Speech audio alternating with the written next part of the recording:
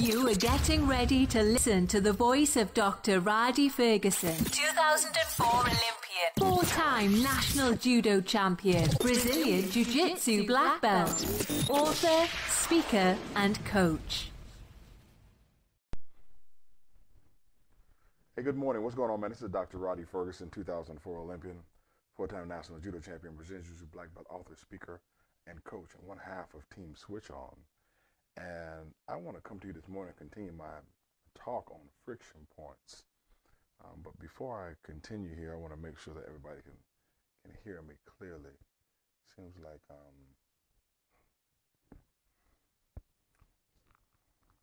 my microphone is on here. I just want to make sure that volume is up and that people can can hear me. All right. So here's what I want to talk about today. There is, man, there's a constant battle that happens internally with us um, on the on the, on the in the spiritual sense, it's a battle between um, the, the, your flesh side and your spiritual side.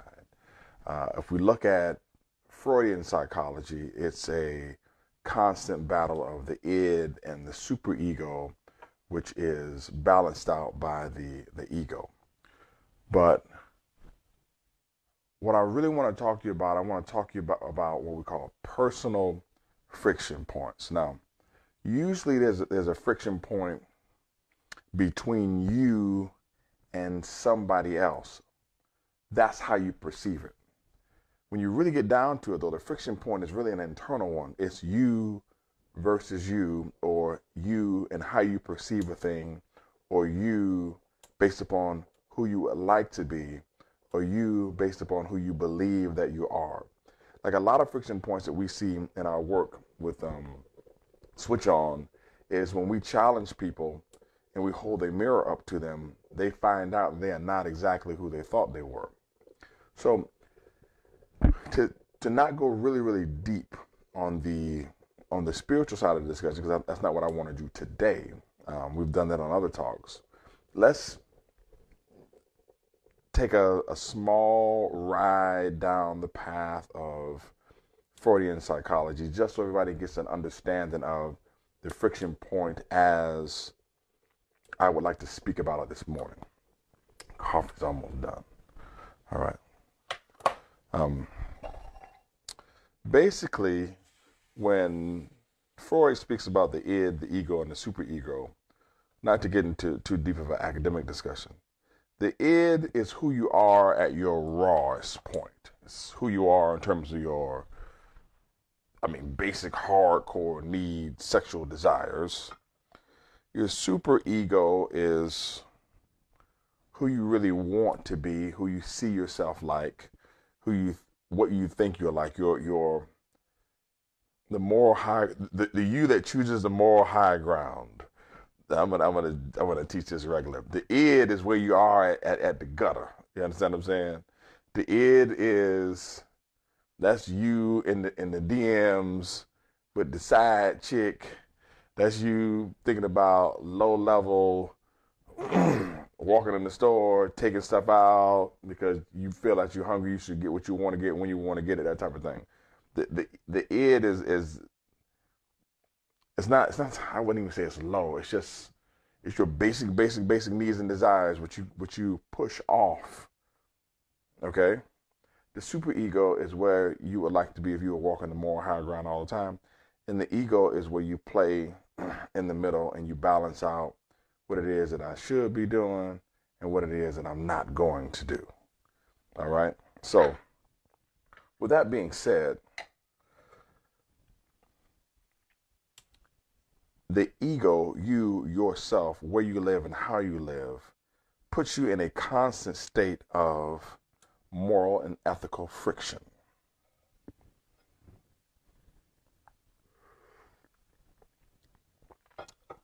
Many people have a rough time with this particular friction point because they get caught up on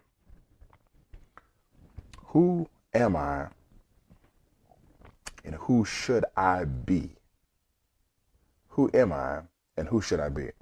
I can't relate to all to that.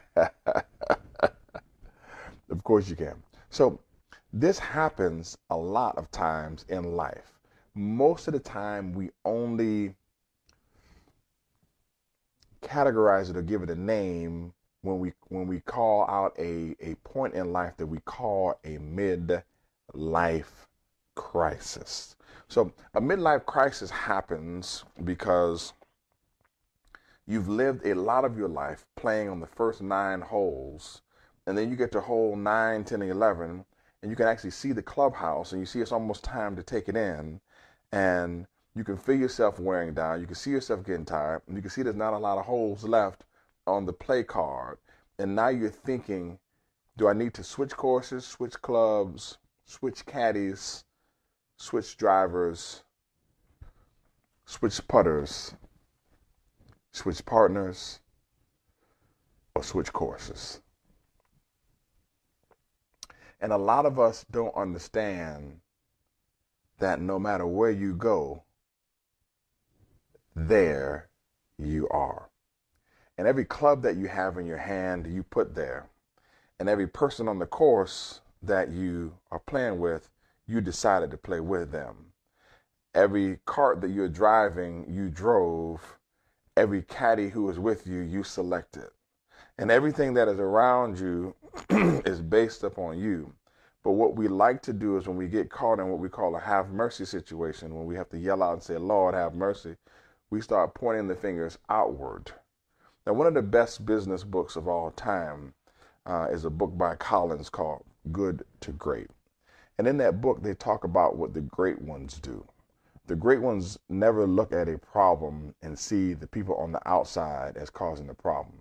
The great ones look at the, the great ones look inside and say that the solution to the problem is within me. Now, I had a talk with Coach Arlo uh, about a day or two ago with a client, and he said something that he says on a, on a couple of calls, but it really hit home when I talk about personal friction points today because he said the the issue with a problem is that in the egoic mind, when you come up with a problem, you eliminate the solution. That's why people say, I can't deal with this anymore. I'm out. Well, why can't you deal with it anymore? Most problems can be solved through communication, but when you refuse to communicate, then you refuse to solve the problem. A lot of people want to create a problem because they've eliminated solutions. Now, let's just look at this. When I got to Howard University in 1992, the first class that I took was Intro to Engineering. I decided to be a mechanical engineering major, and I was in this class, man. It was almost like 150 people in the class in this auditorium. And we talked about the process of engineering and engineering at the basic, basic level. And they talked about brainstorming. And they said, in the process of brainstorming, I want you to come up with ideas that you think are outlandish, that you think will will will be crazy or that, that people would actually make fun of you if you if you said in a in a regular meeting or if you said in the classroom when you were in high school. But we need you to brainstorm because we need you to look at all the solutions possible first. And don't shoot down anybody's brainstorming. And now when i think about it now i'm thinking to myself the engineering process does not look for a problem, nor, does it, nor does it accept that a problem exists. The engineering process brainstorms understanding that every problem that exists in this world has a solution. And somebody is going to find it. Why can't it be me? The friction points that you have in your life occur because there's a constant battle between your lower level gut desires, your id, and your super ego of who you want to be, and your ego of who you are. Your id presents all the options that are available to you. Your superego presents the problems with those options based upon societal constructs, based upon who you want to be, based upon who you think you are and what you should do. And your ego handles the friction. Those people who don't handle friction well, they find a way to medicate themselves, they find a way to drink, some find a way to hurt themselves. And those people who do handle the friction well find a way to move through life. Now, the thing about handling the friction points is, in life is that you got to understand that you can't handle those friction points on your own. For every great thing that I've done, I've always had coaching. Uh, I've caught, I've found myself in a half emergency situation before. For those of you who know my personal story, where I went through a divorce and I, I had to go to therapy. You know, I, I didn't just go to a that um that pop up just happened, but that was a great pop up because that's my my scripture that came in in the morning. All right, so I had to go to I had to go to therapy, but that's not my first time going to therapy. When I competed, um, and I was competing and and training for the Olympic Games, I also went to therapy. I had a sports psychologist. You, you need to have someone to sit down and, and talk to because there are a lot of things going on in your life and the id is always pulling you one way, the super ego wants you to present yourself in another way, and then you have friction. You need coaching, you need mentoring, you need therapy, you need therapeutic modalities that you use. What are some of the therapeutic modalities that I use in my life to handle friction?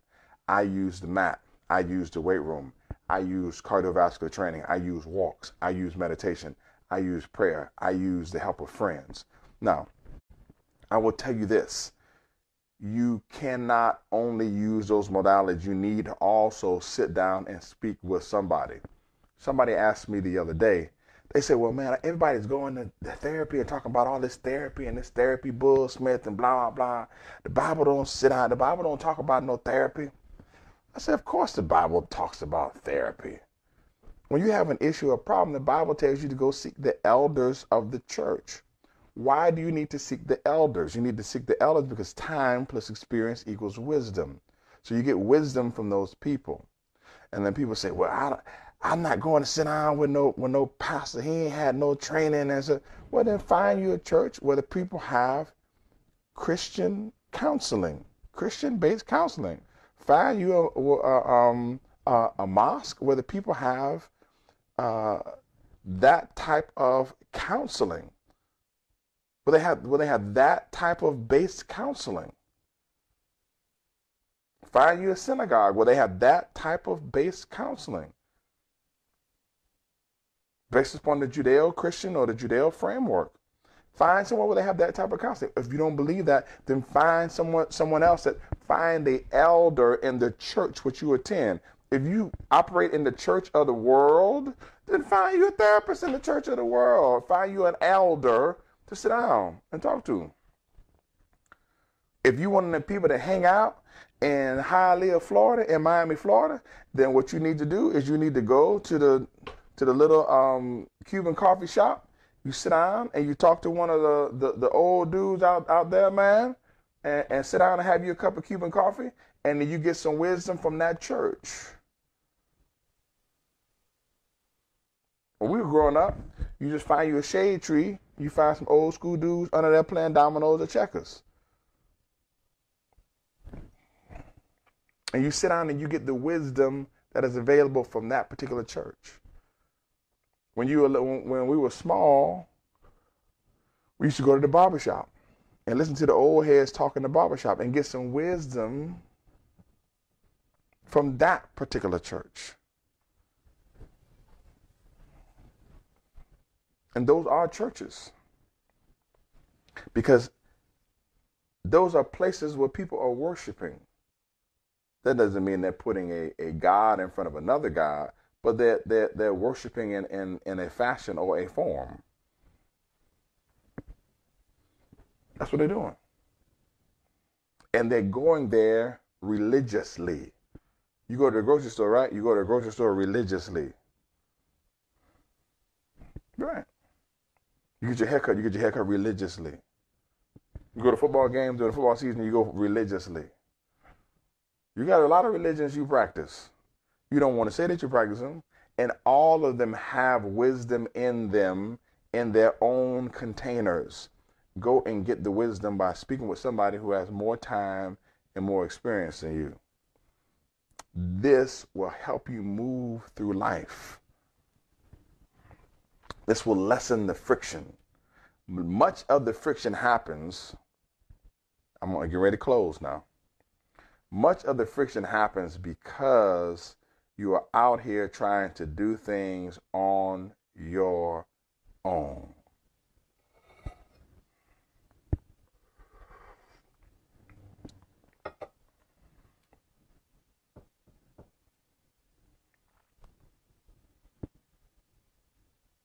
The friction happens because you believe that you can do it better on your own.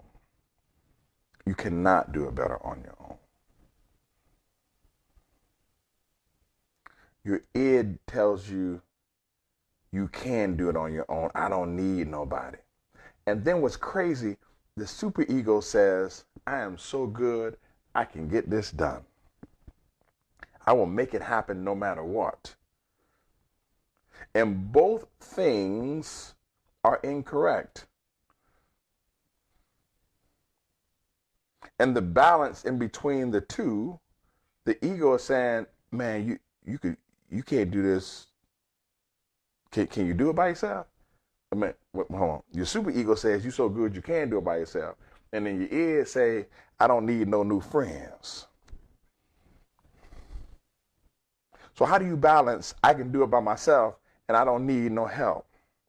You balance it with the reality of things in my life aren't getting done the way that I need them to get done. So clearly, me thinking that I can do it all by myself, and clearly, me thinking that I don't need anybody is not helping me get where I need to go.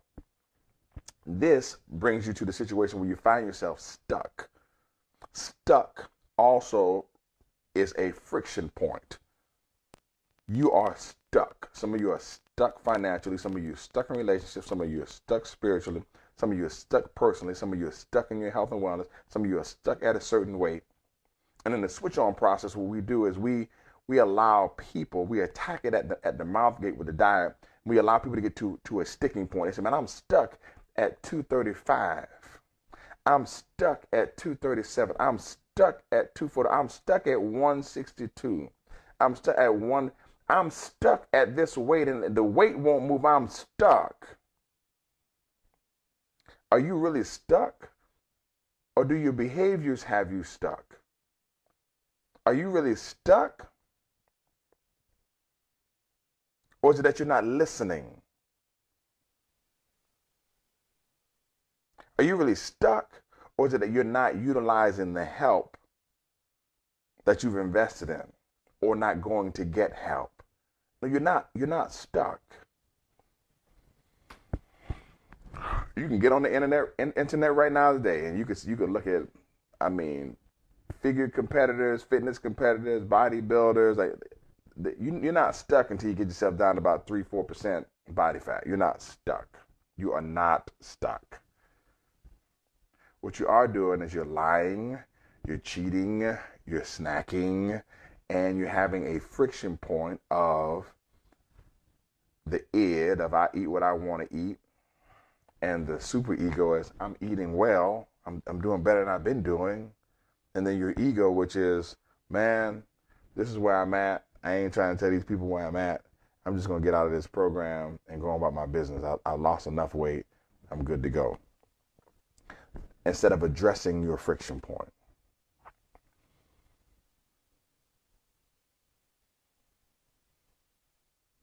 Ecclesiastes 4 9 through 12 is a good read. One of my favorite parts is the part that says, Two are better than one because they have good reward for their labor, and a threefold cord is not easily broken. Then it speaks about walking by yourself and being alone. Two are better than one. If you're going through life and you're having a problem or an issue, to help you get through your friction point or your stopping point, you need some help. as I close, I'm going to say this. If you've ever been, if you've ever been doing any bench press before, you can handle the weight. All right. And, and in the beginning ranges. Sometimes when the thing is really, really heavy, you ask for a lift off. You say, May I have a lift off? Boom. And you get the lift off. And when you get the lift off, the first thing that you say is, I got it. Boom. I hey man, I don't really need I don't really need Rollo them help. I just need them to give me some seed money so I get this business up and running. Then when I get it up and running, I'm I'll be good. Right, right, right, right. Don't worry about the taxes. Don't worry about the don't worry about the marketing. Don't worry about the the turning the profit from the operation. Yeah, don't worry about the twos and fews. Don't worry about getting the cleaning staff. Don't worry about it. Don't worry about it. Yeah, don't worry about none of the rest of that stuff. All you need is a lift off. Boom. So you get the weight off. Boom. Lift off. I got it. I got it. In the beginning, when it's going down, it's going down easy. It's no problem. Everything going down easy. Easy. Boy, it's looking good. It's looking good. And it's 50% of the way done. You go all the way down, you touch your chest, boom, and you head it on the way up. It's about two and a half to three inches off of your chest. There's this point called the sticking point. Here's where your elbows start, they start shaking, you start doing the hully gully, feet pressing in the ground, butt starting to come off the bench. Because now the weight of your situation is getting ready to collapse on your neck. And what you say is, help! because you need some help. And then when the person gets you past that sticking point, what you say? I got it, I got it, I got it, I got it, I got it. No, you didn't have it. You didn't have it when you started. You didn't have it when you finished. You didn't have it at all. And a bad spotter when you're young will take their hands off the bar during that process. And a good spotter will keep their hands on the bar during the whole process because they know how much weight you can handle when you're in the gym, having a spotter who is seasoned and who knows how much you can handle and who's been watching you and watching you lift and understands the sticking points and understands the danger of the lift off and taking their hands off the bar and understands all these particular things can save you a lot of time and a lot of injury and help you actually get stronger and move through your friction point. But if you go in that weight room and you try to do it on your own, or perceptively you try to mind screw yourself that you can because all you think you need is a liftoff. you're going to find yourself in what we call a have mercy situation when you're deep inside of your friction point and you'll be screaming for help and there will be nobody around if there's one thing that you should understand about personal friction points today, is that in the relationship of the id, the ego, and the superego, where the id is your low level gutter desires, and your superego is who you want to be, and your ego is exactly where you are. Just understand that for you to work through life, you're going to need some help. Get the help.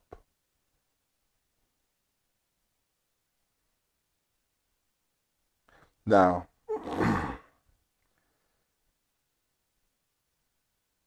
one of my favorite writers is actually a singer. And you have to go through and you have to read some of his lyrics because listening to him sing is really not beneficial to the ear. but his lyrics, deep. Anytime that we speak, the words that we provide are traveling via waves through the air. And